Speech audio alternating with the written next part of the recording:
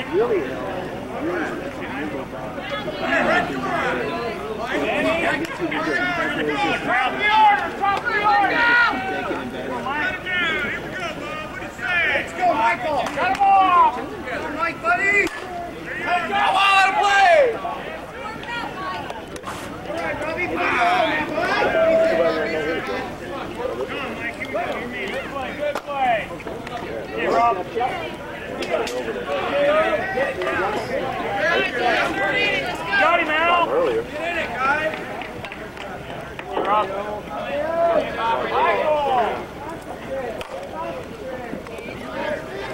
on, foul. Try, Rob. Try, buddy. Okay, Silver Streak fans, say hello. Yay! Wave!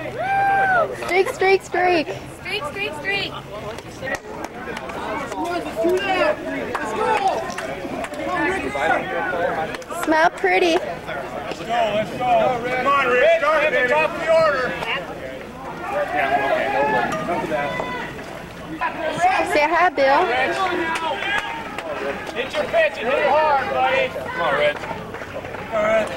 Bat.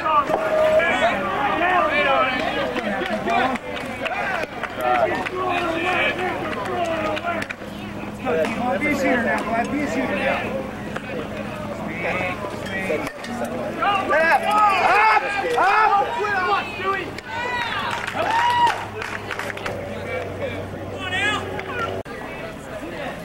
Come on, Phil. Gotta have a hit. Come on. Two down. Take the easy one, man. Nice. What I see on TV. Pitch, Todd. Nice pitch, Todd. Come on, Don't cut it half. No, low driver. Sweet, sweet. Up! Hold shot, up! Nice catch, Rick!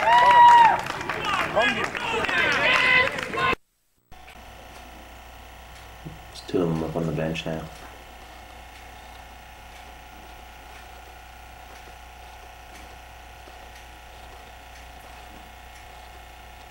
There, he killed the squirrel.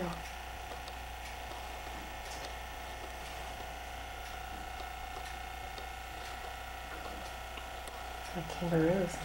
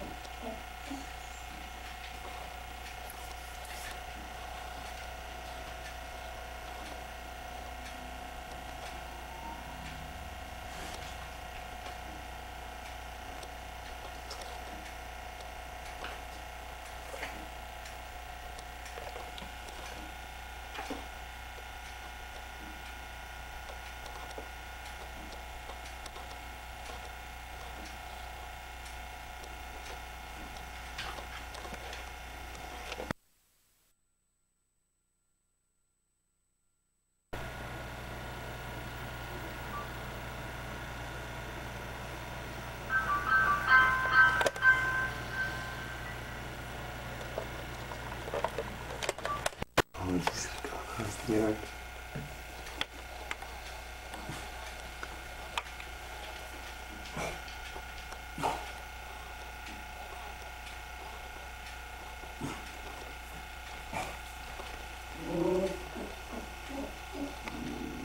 You see a squirrel?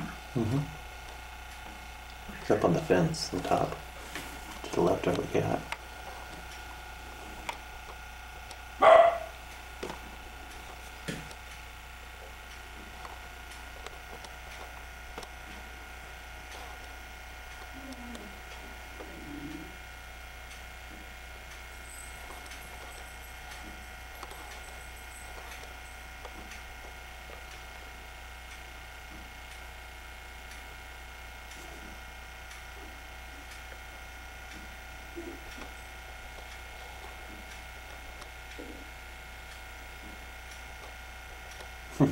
Squirrels run along the chain link fence there. on. No, sitting up on the chain link fence. Not running very well, keeps slipping.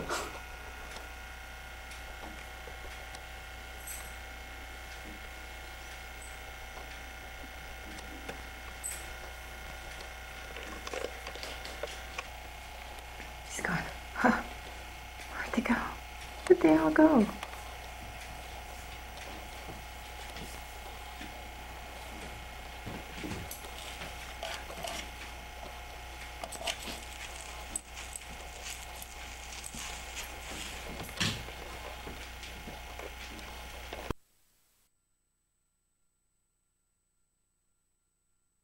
Stay.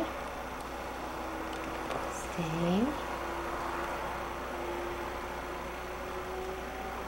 Look at. Stay.